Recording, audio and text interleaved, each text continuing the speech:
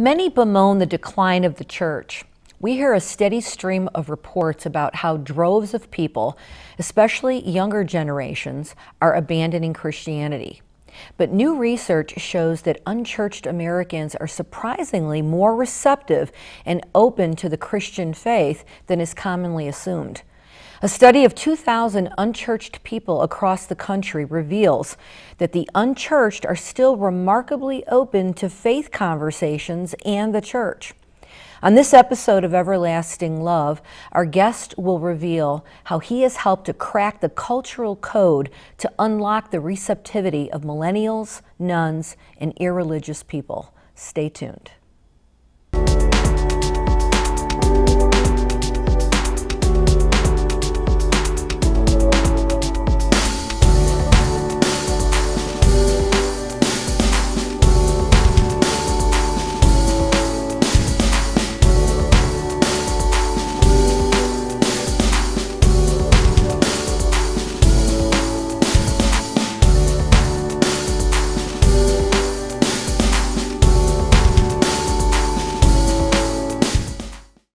Hi, friends. Welcome to the Everlasting Love Program. I'm your host, Barbara Karpuzian, and I'm delighted that you decided to join us. You know, we want you to know that God loves you with an everlasting love. You know, the word says, For God so loved the world that he sent his only Son, Jesus Christ. And whoever believes in him will not perish but have everlasting life. You know, we are privileged to live. We are privileged to have been born, to exist. But not only do we exist here in this world, on this earth, in this mortal body, but for those of us who accept Jesus Christ, who are willing to confess our sins, the Bible says if we confess our sins to Him, that He is faithful and just to forgive us, that not only will we live here, but we will live with Him for eternity. Just want to offer you that today, that you would consider Him. You don't have to pray a fancy prayer, but you can lift your eyes up to heaven and just say, Jesus, I want to get to know you. I recognize that I have fallen short, but that you have come to give me life and that more abundantly. You know, during the course of the program, you'll have an opportunity to uh, see on, on, on the screen there our YouTube channel, um, our Facebook page.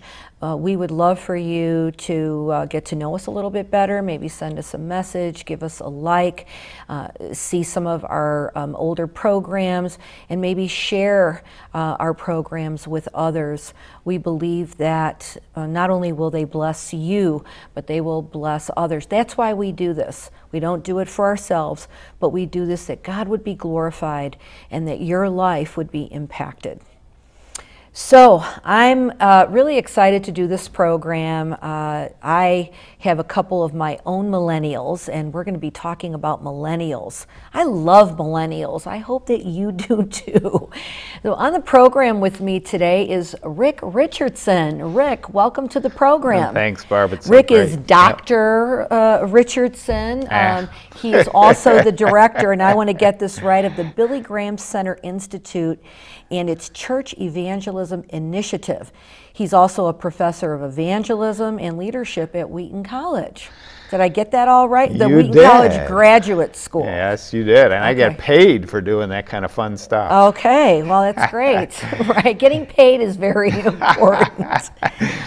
So I am really thrilled. I, I actually heard you um, on another program and um, was really drawn to this topic uh, because I. Um, I think I think that today uh, some of the myths might be debunked because I think that we have some ideas about to the unchurched, mm -hmm. the nones, the N O N E S, mm -hmm. the term that you use, and, and millennials. Um, we have some ideas about those groups and their relationship to the church that you're going to help us kind of navigate uh, through, kind of unpack. Um, but, but before we get there, and, and, and I do want to say just right now at the top of the program that we're going to be making reference quite a bit to Rick Richardson's book called You Found Me. And it's new research on how unchurched nones, millennials, and irreligious, I like that word, irreligious, are surprisingly open to Christian faith. But before we do that, we want to get to know Rick a little bit. So before you became all these amazing things, tell us tell us where the journey began. Yeah, for me, I uh, did not grow up in a Christian home, and uh, I know a lot of people do. I think it's a big advantage. I, I, think one of the things that's powerful about growing up in a home that wasn't Christian is that then that gives me a huge heart for people like me who didn't know God growing up uh, to kind of have a passion for other people to encounter God in the way I did. Mm-hmm. Um, I, I think we might have attended a Unitarian church, maybe a couple of liberal churches, and they had good values, but there was no spiritual core that I ever found in those churches. Mm. And so I remember uh, the process for me started when I was in high school and I went to the beach. One of my friends just said, Hey, Rick, uh, we're going to the beach for a week. Uh, you know, beaches are fun, ocean is fun, uh, lots of, uh, you know, guys, girls are going to be there. You'd love it. And they didn't, they neglected to tell me that if I went every night, there would be special services and ah. there would be ah. an evangelist. And okay. so I thought, the beach, that sounds okay. wonderful. So okay. I kind of got tricked into it, but I'm glad I did, uh, you know, yeah. in retrospect. I don't think that's a good, bait and switch is never good, but I guess it worked on me a little right. bit. And so I, God was ordering I think that's it. your steps here, I right, I think yeah. that's it. And so I remember my the first night I had to go, my arms were crossed, and I was, because uh, I'm from a family that thought believing in God and following Christ and becoming an evangelical, you know, a, a, a, passionate follower of Jesus, was for uneducated people, rural people. It flew against science. Like I had all these beliefs coming in. Where do you think those came in? Well, I, you know, I think it's a larger part of our culture. Mm-hmm. Uh, there's a one of my earlier books was on the culture shift from modern to postmodern, mm-hmm. and to kind of look at the shift for when we started trusting science more yes. than faith. Right. And we started to think science and faith contradict each other, which I don't think they do. Right. I don't believe right. they do. Well, but that's I, what we teach too, it, It's what we teach. It's what our schools mm-hmm. do. And I did believe that. Uh, when I was growing up. Mm-hmm. And so I remember, you know, with my arms crossed, listening to this evangelist. And then the second night, they got, you know, I sat back a little bit and started listening. And by Thursday night, uh, there was a guy by the name of Jay Kesler, actually, who okay. used to be president of Taylor University. Okay. Uh, he was preaching that night because he was president of Youth for Christ at that oh, point. Oh, wow. And so he just called us to Christ and to give our lives and to trust Christ for forgiveness. And I remember walking out on the boardwalk in Ocean City, New Jersey, saying, I don't know, I. Uh, you know, and I really struggled a lot till about three in the morning because, unlike kids who grow up in Christian homes, whose parents can't wait for them to come home and say, Wow, I committed my life to Christ. I knew when I went back to my parents, they were going to be horrified. Mm. And so it was a costly decision for me, but I made that commitment. And I'll never forget, Barb, the next day when I went out onto the beach, my group leader waved me over. He'd heard what had happened. And he said to me, Rick, I heard you made a decision last night. And I was like, I didn't know what this was about. He was like, a, he had gathered about 300 people on the beach. Had, had you told anyone you made this I decision? had. Oh, okay. And then, but my friend, Dangum, you know, had told the group leader. Okay. And so I show up on the beach in the morning, and the group leader calls me over and he hands me a microphone like I'm three hours old in Christ. Okay. And he hands me a mo- microphone and he says, Okay, now tell all these folks what God's done for you. And yeah. I, I don't think I got a word out coherently at all. Okay. But the lesson that got drilled into my heart is as soon as you encounter God and yes. commit to God, you have a story. Yes. You have a witness to yes, make. Yes. And it's not 10 years later once you know all the answers to the tough mm-hmm, questions. Mm-hmm. It is as soon yes. as God shows up in your life. Yeah. You have a witness. And so I got I stumbled over it all and then that guy invited all of us who had come to Christ that week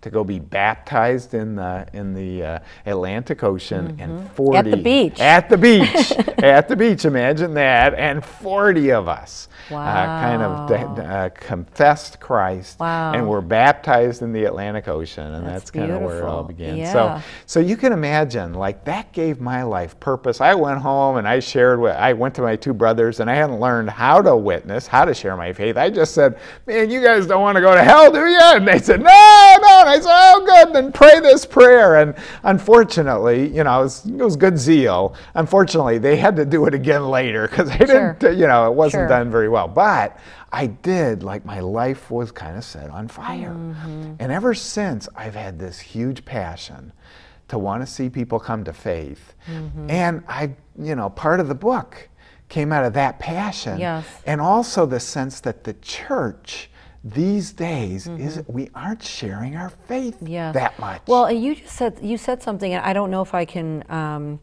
uh, rephrase it. So you have to correct me. You said you you were part of a church, or you grew up in a, a family and attended church that had, you know, you, there were some. Uh, core values right? but you said there, there was like a spiritual component was missing. And i think that's important for people to hear because it's not just enough to have like a moral code or a set of values, but there has to be this like this spiritual undergirding of truth, which we say is Jesus Christ, because he says, I'm the way, the truth, and the life. And so I thought that was interesting when you stated that. Yeah, I think often uh, people think if I go to church and if I'm a pretty good person, haven't killed anybody, Right. you know, I haven't cheated on my wife, you know, and recently, you know, like people come up with a sense of if I'm a pretty good person, I'll, Right. I'll go to heaven, and if I get to church. And I remember Billy Graham, who our institute, our center is named after. I remember Billy Graham at one point saying in one of his messages, just because you're in a garage doesn't mean you're a car Sure, right? yeah. If just because you're in a church doesn't mean you have a relationship with God. Mm-hmm. And I think one of the challenges in our culture is there are a lot of people who would describe themselves as spiritual but not religious. Yes. And what they mean is they don't like the organized religion Mm-hmm. thing, but they do have a faith. Yes. And that's what people need to understand is Yeah. at the heart of it is this Right. centered relationship with God through Christ. Yeah. And and that goes back to the fact that we are we are spirit, soul, and body. Yeah, And so right. that there's there there's a there's that desire for some spiritual connection. Yeah. Um, but so so you you you you you're in high school when this happened, or in college when this I'm in high school, and, and then I didn't get n- nobody disciple me. It's like one of the one of my passions is Yes.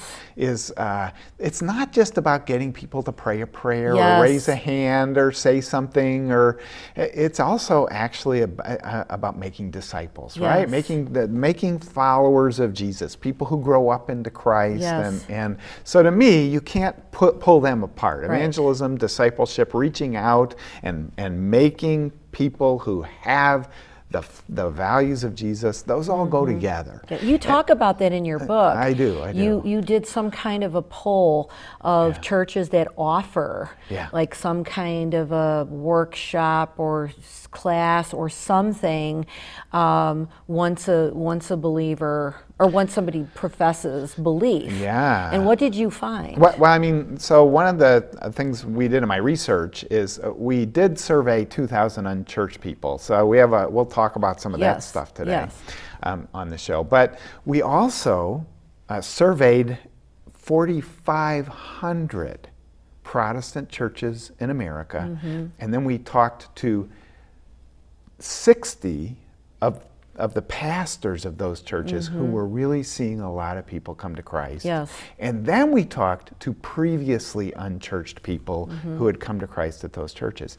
And we identified predictive factors for churches that are reaching people and discipling them. Okay. It's that combination. right, right. And, uh, and those predictive factors, the, the second most important was uh, that the, you know the second the one that was the second biggest predictor was churches have an immediate next step Yes. once people visit a church to follow up and help them commit to Christ and follow Christ. Yes, So yeah. that's what you're uh, yeah. you're talking about. Well, I, and I think that's very powerful. Like I feel a real great vibe here because yeah. that's my discipleship is my heart. Yeah. And I remember being in a church that we loved dearly for about 10 years. This was many years ago. And I remember one of the pastors after the altar call, and he's a wonderful man. The, the you know people would come up and they give their lives to the Lord, and then he would look out and he would say, "And now I see ushers and I see children's workers and I see," and in my heart I was like, "But wait, Yeah. uh, Jesus didn't do that. He he caught you know he." He got those disciples and then he taught them. And so I remember at a dinner that we were at, I had turned it to him and I said, Hey, Pastor Jack, I, I, I've been wanting to just say this to you. I love you. I know your heart when you say that. But in my heart, it's like, you know, you when you catch the fish, then you got to clean them, and you need Yeah. a time to disciple. And and it was funny because the next time there was an altar call, he changed, and that church did have that connecting class, like you talk about, Yes, right? Yes. So so you, take us then. So you, you you you you know through college, and did you walk with the Lord that whole time? What did you know? Just give us a snippet. Like what did your like faith walk look Yeah. like before you eventually became this doctor and author and director and all of that? Well, well, so I got on fire for Jesus for a while, but I didn't have anybody pour into my life. I didn't have the next steps class. Yes. And so I didn't learn to study scripture for myself. I, I really didn't learn much about the, the kind of thinking about the faith. I didn't learn good answers to the questions I was facing in school and especially when I went to college. Mm-hmm. I didn't get discipled or, you know, I didn't get poured into that Okay. way. And so when I got to college, um, I had all these questions I couldn't handle Sure. because I just attended church but not been shaped and formed in the faith. So that's part of why I have a passion for both of those. Mm-hmm. Yeah. And in college, I, it was a it was a fun thing because I connected to a campus group. It was it was a group called InterVarsity Christian Fellowship. Oh, yes. It's a, Uh-huh. it's a campus ministry that Yep. disciples people, and there are a few of them, uh, Yep, Cru yep. and Navigators and Chi Alpha. Thank and God for those. A number of others. And Yeah. I- so I came into college, and by the time I got halfway through my freshman year, I was arguing people out of faith because I hadn't been helped, oh, discipled. wow, And I had these doubts, I, I had these struggles, I had these questions. I knew the error, I knew parts of scripture that had errors, it seemed like to me at the time. Okay. I, like I didn't have good answers. Okay. And so I kind of fell away, and I was Sound a little ar- like Paul. well, I'm telling you, I, I can. I mean, it- when he was right. Saul, yeah. Yeah, right. I didn't kill anybody, but Yeah, no, anyway, thank uh, right. But but I still uh, was after killing people's faith, Mm. and I remember uh, uh, coming to a book table that was out on my campus. Uh, it was an outreach table with InterVarsity, and I thought, oh, some Christians, I'm going to take them apart. I, I know, and and I asked questions, and these folks had been discipled. They had some good answers. I remember Jim was the guy I ran into. He had some great answers, but the other thing is that when he didn't know, he didn't. Uh, he didn't get defensive. He didn't give me some, uh, irre- you know, non-thinking answer Sure. like, "Oh, you just got to have faith." And, you Right, know. right, right. He said, "I don't know that, but I'd love to kind of explore that. And could we meet again next week and talk Hmm. Wow. about Okay. that?" Great. And then here's the here's kind of the funny thing. So he helped me along, and then about the third time we met, he said, "Hey, why don't you work the book table with me, and we'll kind of field people's questions together." And Jim asked me to work the outreach table before I had committed myself back to Christ, Mm-hmm. and I'm standing there going, "Well, sure, but I mean, you know, you know, like, what am I going to Aren't you afraid people? I might like I'm deter people? yeah. exactly. And and Jim just was like, no, I, I think you're making, you know, you're on a journey. You're taking great steps. We've had some good conversations. I think you could probably, re, you know, reflect back some of what you and I have talked about. Mm. Um, and then he invited me into a small group. And uh, I tell you, that that then was the discipling, Yes. the bringing up in Christ that I needed. And from that day to this, uh, you know, we all struggle with doubts at times. We all have hard things happen. Yes. But I have followed Jesus from that day to Yes. this, and I have married outreach and discipleship. Uh, I, I, think, you know, here's another way people pull them apart. Sometimes evangelism, you know, outreach people pull them apart because all they do is try to get people yes. numbers of I'm people. an evangelist. All right, well, just right, respond, yeah. respond. I, yeah. 50 people raise their hands yeah, or pray to prayer or but sometimes discipleship people do the same thing. Mm. What they do is they say discipleship is reading the Bible, praying, and fellowshipping, and it all gets inward oriented. Yeah. And it doesn't get focused on helping people to become witnesses. Yes, yeah. And I don't see a single disciple that Jesus developed who wasn't also a witness. So, yeah, so yeah. that's the like they got to be married and stay yes. married. Oh, I'm just, this is so refreshing. Mm. Um, and we've had, it's interesting because we've had some similar yeah. Uh, yeah. Um, experiences, journey probably. experiences because yeah. my questions were in high school and then it was in college, even though I think I got saved during confirmation and yeah. Catholic Church. And yeah. by the way, too, can we tell everybody that you are, can we, I'm going to, that you're also an Anglican priest yes. as well, yeah. who has operated in healing ministry. And so um, that's, you know, so powerful. Um, so we are talking uh, to Rick Richardson, and we're talking about his book, You Found Me. And this is new research on how unchurched, nones, millennials, and irreligious are surprisingly open to Christian faith. So I'd really like to get into this uh, a little bit more, kind of unpack it a little bit more.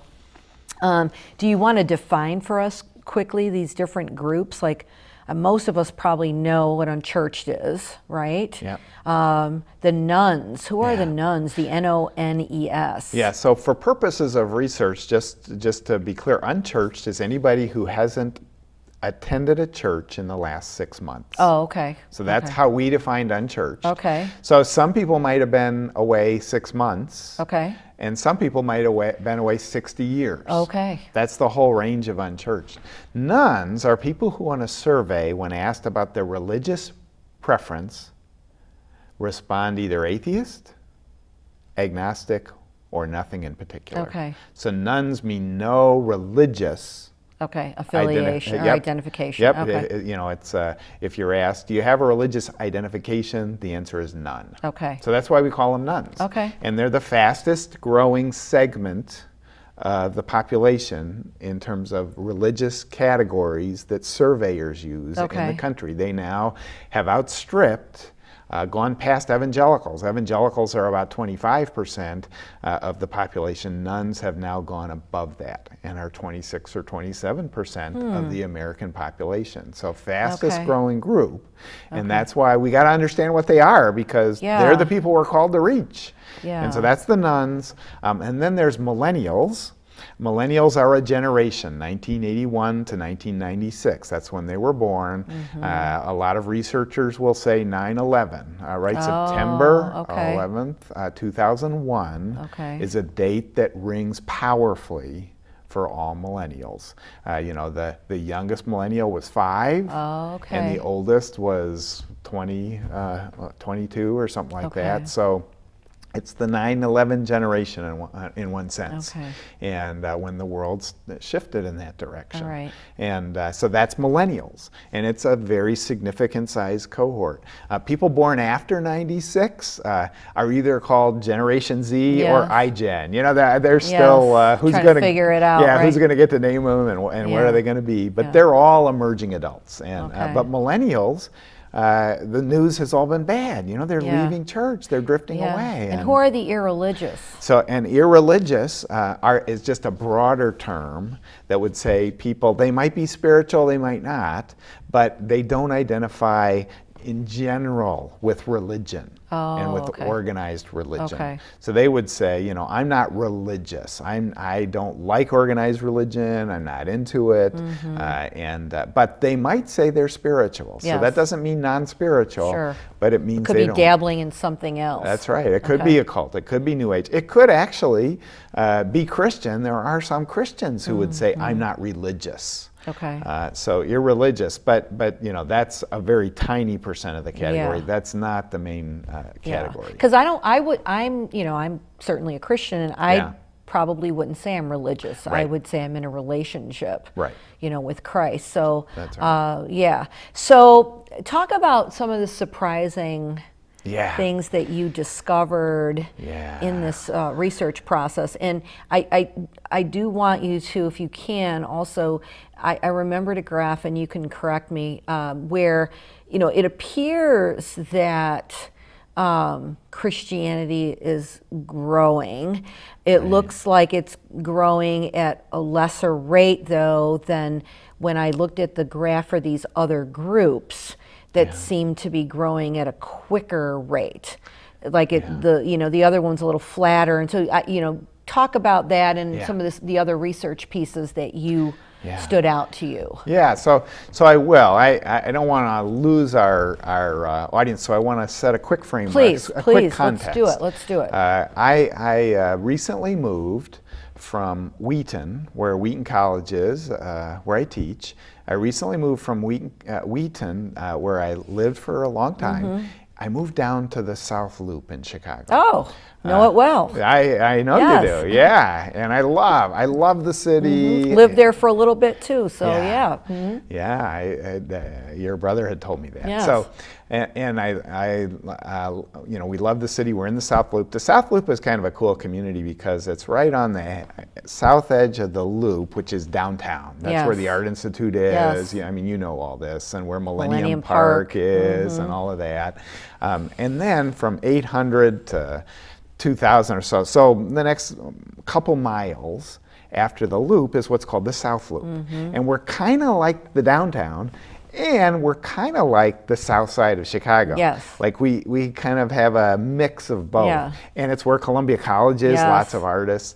So I would have expected when I moved from Wheaton down to the South Loop, I would have expected, ah, you know, I'm, you know, in Wheaton, everybody's religious. A lot of people go to church, you know, and there was some truth to that. I, I'd say our neighborhood, uh, a third of us were going to kind of evangelical or Bible churches or that kind of church. Another third of us were going to the Catholic church, and then there was another third, like our Persian neighborhood neighbors who were Zoroastrian. Okay. And then on the corner, there was the one uh, kind of uh, very uh, proactively non-Republican family. Like they were like yeah, super right. Democrats, and they, they wanted that in everybody's face, right? Okay. And, and uh, uh, so, So that it- was your diversity. that was my diversity. Ex- exactly. And I thought, oh, and we had conversations about Christ. There was a lot of this conversation, but it was interesting. We'd had a number of those conversations, and people were a little bit locked into their group. So it was, in some ways, harder to see people move and influence each other. I moved to the South Loop, and I would have expected mm, fewer spiritual people because it's all nones, it's all millennials, um, it's all people who don't, you know, mostly don't attend church on, on Sundays. So I thought there'd be less receptivity. And to set it up even more, we'll talk maybe a little more about this, but we had a condo, and on our condo floor, so this was different than Wheaton. Half the couples on the floor were gay couples, and I it was a new kind of cultural Yes. context for us. So I thought, well, people, you know, th- this is different, and I bet they're against the church. I bet they're like uh, against Christian faith. I bet they don't trust us. I bet spiritual conversations are going to be a lot tougher, tougher, and. What was amazing, and so then I'll jump into the research. Yes, I wanted to set that. Please, What, yeah. what was amazing was the folks on my floor and all around me and in my neighborhood were more receptive than Mm-hmm. the people that I left in Wheaton. Look at that. And, and a part of it was because the people I lived next to in Wheaton had already sort of built their fences, Yes. established their positions, Yes, and decided their preconceptions of people. Sure. And by, by the time I got to the city, uh, there wasn't nearly as much of a church memory. Yeah. And there wasn't nearly as much of a church stereotype. Yeah. Yeah. And so Good. they didn't expect, they didn't know what I would say next. And all of a sudden, conversations became real, authentic, and people moved and were receptive. That's a kind of an indicator of what our research showed. So, and, and part of what our research did is it explored the myths that people had um, about uh, what's going on in our larger culture. Uh, one of the myths is, for instance, that, uh, and I saw this stat, uh, 6% of millennials are uh, have are you know who who, who attend church have left the church and are not coming back. Now now think about that. Let me say that again. That's huge. Ninety Huge. six percent. Yes. I saw that uh, statistic first online at a reputable source. Then I saw it a couple days later at another, you know, reputable source. And then I saw it everywhere. And the last time I saw it, this website had used it to alarm us all Yeah. create panic and, uh, uh, and, and had used it to sell their book and, and, and to get people to come to their conference. Now, here's the thing about that statistic Was this a, a, a religious conference? it was. I was on millennials and how to reach them. Oh, wow. Okay. Now, now, here's the thing about that 96% statistic it went everywhere. Everybody quoted it, including very credible sources and people, mm-hmm. and it was completely bogus. Wow. It was a statistic that, like, I, I dug in. Part of the research of the book was I, I was like, how did people get that? Yeah, how I- did they? I know. So I dug into the statistic. It turned out some researcher, uh, 20 years ago, 20 years ago, or about 15 to 20 years ago, went to three towns in Ohio that were almost completely Catholic and asked 100 people, kind of just off the street, in three towns in Ohio, what their background was. And it turned out 96% of the people, most of them Catholic, who had been mm-hmm. Catholic, weren't mm-hmm. attend, hadn't attended a church in six months. So, the 96% statistic represented as representing all of America How deceptive is that? represented three How deceptive is small that? towns in Ohio that were predominantly Catholic. And so the folks that were using this, were they aware of that? No! Because what happens with bad news is Yes. bad news travels fast. Yes. Well, and I think that's a really good uh, message to our audience to be careful when you just hear these like data points. Right. Make sure that, and we. It's funny. I, I'm a I'm a previous educator too, and we would tell our students make sure that you're looking at primary sources and that you really are are understanding where these data points are coming from, because then you can develop this whole idea, right? Yes. based on something that is completely false. That's right. Here's what's, uh, so let me tell you the real statistic. Tell us the real I'm going to tell you the real. So statistic. 96% leave and never come back. Here's the real statistic 54% either stay, that's 26% of them, or come back Hmm. after a year or so away. 54%. That's that's a much better. That's a little better. Now, Yeah. we still got to be concerned about the 46% that, that we, yes, we need to because that's huge. It's That's- quite that's significant. quite yeah. significant. Right. It turns out, though, even that one is a little overstated. Okay. Um, about 25% of those folks uh, come back occasionally. In other words, they aren't all against the church, they aren't angry, they Mm-hmm. aren't broken trust. It turns out only about 20% of them never come back Mm-hmm. at all. That's very different than 96%. Yeah. And what's happening in our culture, Barb, is that we're getting a lot of that kind of news and it's going everywhere. Okay. And, and here's the result, right? I, I mean, imagine when everybody in a church or a pastor in a church thinks nobody wants to hear the gospel, hmm. everybody's leaving, people are apathetic, nobody likes the church anymore, trust is broken, mm-hmm. nobody, you know, everybody's heard the gospel, Yeah, decided they don't want it. discouraging. Well, you know, you just Yeah. keep lining up Yeah. how we, this, what the statistics tell us. Yeah. And people just get discouraged. Yeah. And uh, I, so I even ta- I have a you know I use a, a, phrase sociologists use called Chicken Little syndrome. Yeah. Mm-hmm. Right. So Chicken Little yell said the sky is falling, the sky is falling because mm-hmm. he felt an acorn, and he got everybody panicked, and and it didn't turn out well for mm-hmm. uh, for mm-hmm. Chicken Little. And the same thing's happening in the church it's becoming less optimistic, visionary, and faith filled that there's a harvest. Yes. Yeah. And so instead of spreading our way of life, we're defending our way of life. Mm-hmm. Instead of having hope and excitement and being on fire, the fire's starting to damp down. We're thinking mm-hmm. there's not much of a harvest out there. And so pastors are discouraged, people become passive, mm-hmm. and folks give themselves to causes, but no longer communicate the gospel. Yeah. So I want us to talk about that, right? I'm very blessed to be a part of a church that I feel is very healthy healthy because mm-hmm. it has a great span of ages. Oh, that's great. It has a, uh, it is very diverse. Yeah. Um, ethnically, racially, mm-hmm. um, good balance uh, gender wise. Mm-hmm. Um, you know, and I think a church has to have that. The older teach the younger. Mm-hmm. Like you have to have a really nice balance in those areas.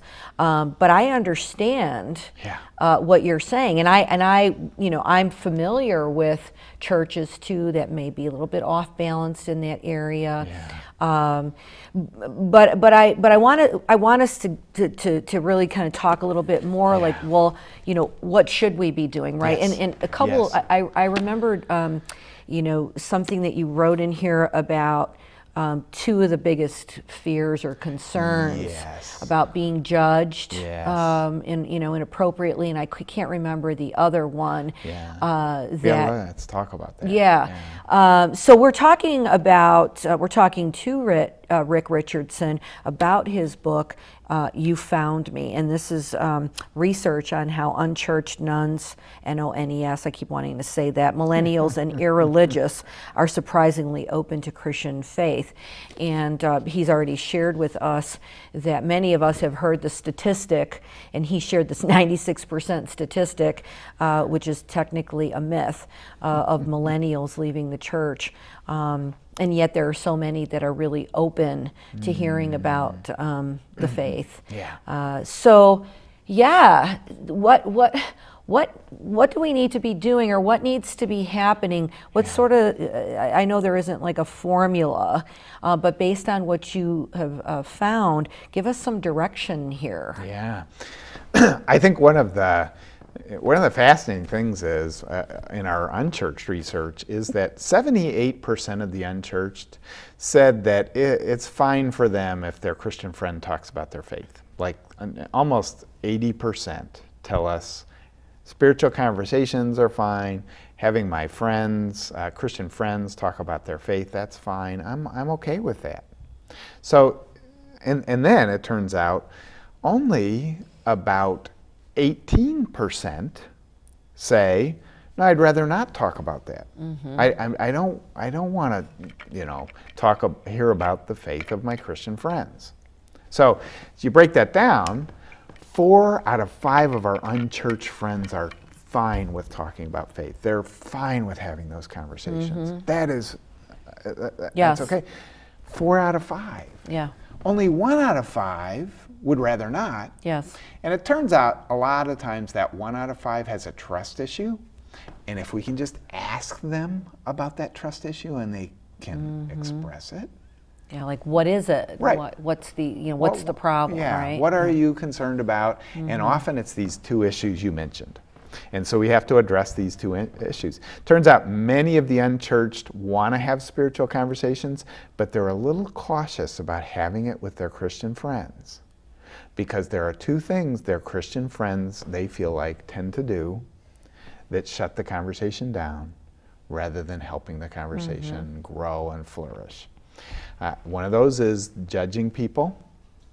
So, uh, you know, just often we were trained and taught the way we do evangelism is we say we're all sinners. Yeah. And that sometimes is our starting point. But it turns out unchurched people don't want to hear that first yeah. from us.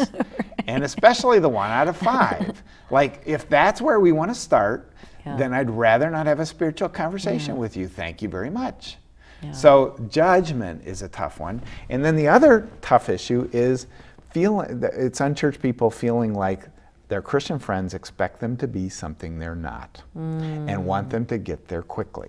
Oh, so again, yeah. we're taught to share briefly. We're all sinners, uh, and yeah. this, which is true. Yeah. Like I believe that, and I always say that at some point in relationships. But even the word sinner, yeah. Like I think about that word, and I I feel like that's Christianese. It is because what does that really mean? Right? Because everybody sort of has their concept of like what sinner means, right? Yeah. Did I kill somebody? And what the Bible says if you break the law at any point, you're guilty of breaking the law. So, yeah. you know, does that mean if I have a bad thought or and so, you know, I when I looked at the word sin, it, it really it, it means like separation from it means separation from yeah. God. The language I use and again, we have to learn to the crack the cultural code. Yes. For nones, millennials, for the irreligious today, the language I use is really, uh, you know, the two great commandments are love God and love neighbor. Mm-hmm. And sin is anything that violates those. When we replace God mm-hmm. or when we hurt neighbor, yeah. that's sin.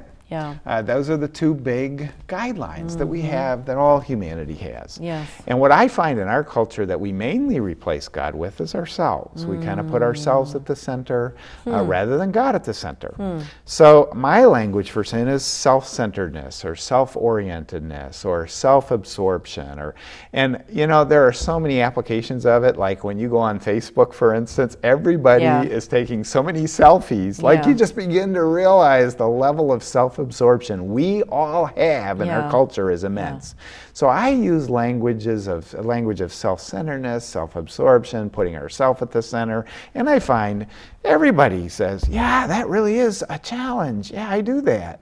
Hmm. And people can own that. So the word sin doesn't mean what it used to for people, yeah. but self-centeredness can, self-absorption can. Yes. And then I try to help, I try to challenge people uh, that, you know, when our self is at the center instead of God mm-hmm. at the mm-hmm. center, we're not mm-hmm. loving, we're not becoming who we're meant to be human uh, as human beings. And mm-hmm. that's, we have to deal with that. And guess what? Jesus has yeah, dealt with that. Right, Jesus right. lived the unself centered, mm-hmm. unself absorbed life. He showed us how to do that. He showed us how to mm-hmm. live with God at the center. So there's a language we can use to talk about the gospel. Yeah. And instead of being judgmental sounding, it actually communicates. And yes. people, uh, people can embrace truth yes. when we do that. Yeah. Um, I, I also find, so for instance, sometimes churches, when they have visitors, they'll have all in Sunday, right? Like you've heard all in Sunday. All in, let's be committed. All in, let's give our tithe. All in, let's do this or do that. Well, when visitors come in, if they feel like you were saying we got to be all in, like they're immediately going, "Wait a minute." Yeah, wait, just, what does that mean? I just like I just I got here, right? I just got like, here. what do you want? My house and my car, and you know. exactly. So, yeah. so that uh, all in is not the way, right? Uh, in the early stage of the relationship to correct the cultural code. Mm, yeah. So, but oh, go ahead. Well, I, I wanted to say um, another kind of this is a powerful tool. Mm-hmm. You know, after each of the chapters, there's also a set of questions, and uh, whether whether you are the millennial or the none, the N O N E, or the irreligious, right, um, or the unchurched, or uh, if you are a pastor in the church or a believer, um, there's some great, great uh, questions mm. at the mm. end of, of each of the chapters that sort of help you to reflect um, on what you read, um, maybe kind of reflect on just where you are as well. So I think that this is a, a, a really great mm. tool. Um, you know, I wanted to, I wanted you to talk about because it it, it seems to me, and I, I've kind of earmarked a whole bunch of places in here and I love the the charts. I like yeah, looking yeah, at charts because yeah. it's a it's a great visual instead of having to look at, you know, all of the statistics. Right. Um, yeah, save that for the statistician. That's right. Uh, but I love the charts and the visuals in here that might make you go, wow. But it seems to me, um, and you can tell me if I'm wrong, uh, Rick, that relationship evangelism, if we can mm-hmm. couch it that way or, or label it that way, um, you know that, that personal touch because you you you alluded to that and i remembered seeing something about like you know would you rather see an ad in facebook Yes. which was a very small percentage or would you rather have somebody invite you to church Yeah, you know yeah. um, and it seemed like that got the bigger bang right Yes. um, and so that there's this power Mm-hmm. in establishing relationships with people um, and you talk about modeling Yeah. right so can you can you uh, can you talk a little bit more about that Yeah, one, one of the things you mentioned, and it's a surprising stat, and it shows up over the years. Uh, it's been consistent over the years. Uh, it's that 50% of the unchurched tell us an invitation from a friend would be effective in getting them to visit a church, and 55% of the unchurched tell us an invitation from a family member would be effective in getting people to visit a church yes it's right yes yes one out of two.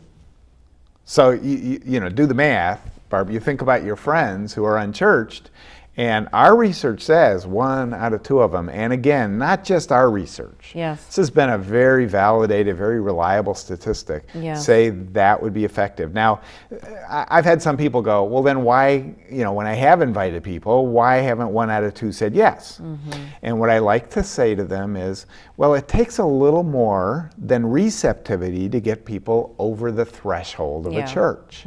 It also takes lowering their fears. yeah They're afraid they might get judged. They're afraid they might be expected to be what they're not, to know mm-hmm. Bible verses, the mm-hmm. language, act a certain way. So mm-hmm. those are their two fears. So one of the things we teach you, you know, in the book, we, I teach it in our. We have pastor cohorts. We have we've had 180 senior pastors mm. gather together in our pastor cohorts, and we help them with all this Yes, stuff. yes. And uh, one of the things we've taught people to do is how do you lower people's fears Yeah. in the way that you invite them? yeah Uh, often, if you get too really excited, that can be good, but they're still going to have those fears. Yeah. Uh, I had a friend who he was great. He did this the other day. He talked about uh, he's in one of our cohorts, and he said, "Yeah, my next door neighbor. We've been talking a little bit, and I didn't think he was spiritually open at all, but he came over to me the other day, and he said, "You know, I've been thinking about it, and you know, I got a couple of kids, and I I I think I want to check out a church." And, and my friend was like, What do we all want? So I many know. like, yes, that works. I'll pick you up. But I love my friend's response because he knew the fears this guy had. He knows Yes. he's receptive. Yes. And I'm telling you, people are, Are receptive. receptive. Yes. He knew he was receptive, but he also knew he had fears. And he said, Well, you know, that is so cool. Why don't you try mine? I, I think you'd really like it. We're super casual there. I mean, you can wear shorts. Yeah, yeah. And if you want to go out in the middle of service and grab a smoke, that's okay at our church. And it's like, I thought that's brilliant. Yeah, like yeah, yeah. that's what unchurched people Right. are afraid of. Right, Is that yeah. they can't be who they are. Sure. Yeah. Now he didn't say, "Well, you can smoke up in the No, no, sanctuary," right, or right, you know, right, marijuana's yeah, like yeah, nothing no, no. like that. You got to use some wisdom. Right. Yeah. he had wisdom, but what he did is he lowered the fears, and this guy came. Mm-hmm. Yeah, that's powerful. And yeah, so that's yeah. what that's what we have to learn how to do in invitations. Well, and and it's my husband and I are blessed with the privilege of working in the or volunteering in our visitor center for our church. Oh, that's great. And uh, it's it's it's such a powerful um, opportunity, really, because uh, we get to. It's it's almost like a, a, a little mini church in and of itself sometimes, um, and most of the time, when visitors come. Um, I mean, you'll hear you'll hear things like, "Yeah, I was looking and I looked it up in the you know the white pages or whatever." I don't know the white pages exist any longer, but uh, but most of the time, it's a family or a friend Yeah. that has invited them to come, That's and they've come. That's right. And so that's uh, you know what you're saying. I, that, that sort of validates it. I, I, the other thing that you said earlier, and I just want to bring it back again, and then I you know want you to give us some last powerful points. There's so Mm-hmm. much good stuff in here. I hope that folks will will you know consider yeah. using this. Um, You found me um, by uh, by uh, by Rick Richardson. Um, was you you kind of connected the dots and i i have i have tried to preach this if you will because i know that it it's it worked in my life mm-hmm. is when you talked about yes, I got saved, but I didn't get discipled. And then finally, someone kind of took me under their wing. You know, first, first it was this connection at the college, what some InterVarsity group, campus group, and then you talked about small group. Yeah. Um, and our, our church does that too. We have something called becoming groups. Um, and there's, it's so powerful because there's greater accountability. Yeah. There's an opportunity to be personal with folks there. People can feel more authentic or be more authentic, more transparent. And then there's opportunities to, to kind of organically connect them. Um, so I wanted to I wanted to just revisit that, you know, as you were kind of pointing this out. Um, so that small group piece, and then that small group, it's it's almost like you can see this ocean, but there's a little pond here before they can yeah. get into the ocean that they feel comfortable in the pond, right? So uh, yeah, so this relationship piece is- is- seems to be very critical and modeling. Yeah. You talk about that example. Yeah. Talk a little bit about that. Yeah, so I, I mean, in a lot of ways, there's three kind of segment, you know, main segments of the book, and in that whole first part of the book, we help you relate to friends, uh, crack the cultural code, understand the fears that people have. Uh, I share stories of my, uh, you know, the the gay couple we kind of worked with and got to see Barry over that time come to Christ, and that was an amazing experience. Yes. And like uh, oh, so we unpack a lot of that kind of stuff um, and then in the second part of the book we help churches figure out how to move forward in becoming the kind of place you're talking about where people are reached discipled and turn around and reach and disciple other people Yes. so that's what we long the, to, for the church to be and there were two key factors there one was that churches are developing leaders who are missional le- leaders. Yes, use who- that word a lot, I yes. Do. Leaders who reach out and and we unpack how you do that, and that's where we talk about um, how pastors have to model outreach that their people can imitate. Mm-hmm. So th- just a quick word to pastors. Too often pastors like do outreach in ways that only pastors can do outreach. They do funerals, they do weddings, they do baptisms, they, you know, a couple visits their church and and their the marriage is in trouble. The the sick, hospital visits yeah. or their marriage is in trouble and they set up an appointment. And, and the thing about those ways, Barb, is none of the people sitting in the congregation can reach anybody that way. Mm. That's so good. None of them are going to Yeah. do funerals. They're not going to do weddings. That's right. Nobody's going to come to them and say, "My marriage is in trouble. Can I meet in your office Mm-hmm, this week?"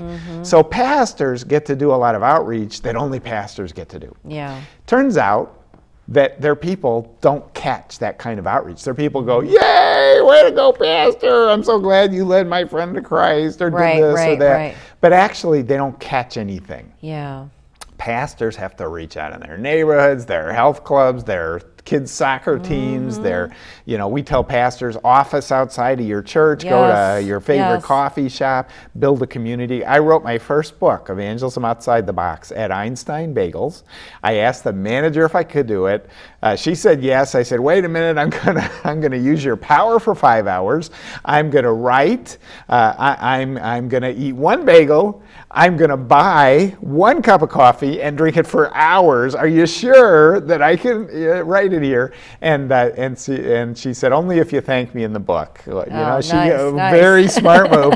So I did it. That became my community. I officed Yes. at Einstein Bagels Yes, and then good. built a community. Yes. And pastors could do that one Yes, day a week, and I've seen pastors do that Yeah, wonderfully. And yeah. there's a kind of a fun part of the story that, that came out of that when I brought her the book. I'd thanked her in the acknowledgments, and she read her name, and she went, ah, "I'm famous," and uh, and I said, "Honey, I'm not famous, so you certainly aren't famous." and uh, but she took it to her manager, who took it to his manager, who took it to the president of Einstein Bagels, who took it to all the managers of Einstein Bagels. Read the acknowledgement Wow. after reading the title of the book at that. and uh, and said, uh, you know, this is customer service. I want every one of you to do Look this, and that. so because of that, I'm buying every one of you a copy of this Look book. at that. so she did become more famous Look than I did. look at that. well, you know, So- I we're kind of we we're, we we kind of.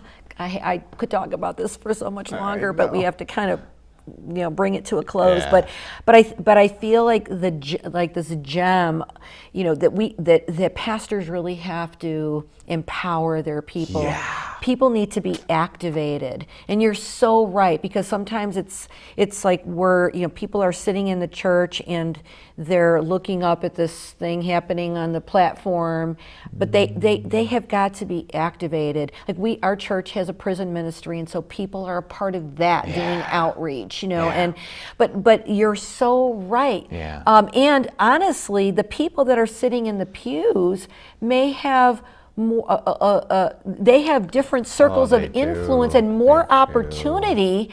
To reach the unreached, the irreligious, the nones, the millennials. Like I know, I was in the marketplace for most Oh, of my life, and I had so many opportunities. So I so appreciate that you have written this book, um, Rick. And I want to say one more time to folks that are uh, watching today that we have been talking to Rick Richardson, um, who works for the Billy Graham um, uh, Center Yeah. uh, and who uh, is also a professor. Um, that he has written this book called You Found Me, a new research on how unchurched nones, N-O-N-E-S, millennials, and irreligious are surprisingly open to Christian faith. There's some really good information, great set of, of questions after each of the chapters in here. We just kind of touched the surface of it today, um, but I hope that uh, you'll have an opportunity. It's, it's, it's a good book, a good tool. We want you to know, again, that God loves you with an everlasting love. He says, Call on me, I'll answer you and show you great and mighty things that you know not. God bless you.